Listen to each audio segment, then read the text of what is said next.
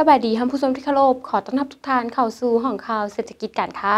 กับรายงานของการรายงานสภาพอากาศประจำวันของวันที่ 31 ธันวาคม 2018 ความกดดันสูงของอากาศหนาวยังจะสืบต่อเพิ่มกำลังแรงขึ้นเพิ่มเติมอีก ปกคลุมอยู่ทั่วทุกภาคของประเทศลาว และสมทบกับกระแสลมตะวันออกพัดปกคลุม ซึ่งจะเห็นให้อากาศหนาวเย็น หาหนาวเย็นหลาย อยู่แขวงภาคเหนือ เขตภูสูง หอมภู แข็งไซสมบูรณ์ และเขตภูเพียงบริเวณ พร้อมมีฝนตกในระดับคอยอยู่บางท้องถิ่นในแต่ละภาค ส่วนภาคกลางและภาคใต้ อากาศเย็นหาหนาวเย็น และมีลมพัดแห้งเป็นบางโอกาส แขวงภาคเหนือด้านตะวันออก อากาศหนาวเย็นหาหนาวเย็นหลาย และจะมีฝนตกระดับคอยอยู่บางท้องถิ่น แข็งพงสาลี อุณหภูมิอยู่ระหว่าง5 55องศา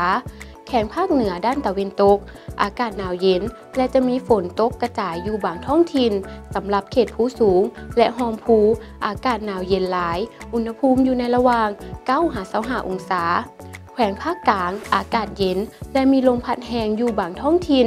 ทางด้านตะวันออกของภาค อากาศหนาวเย็น อุณหภูมิอยู่ระหว่าง 14 หา 27 องศา แขงภาคใต้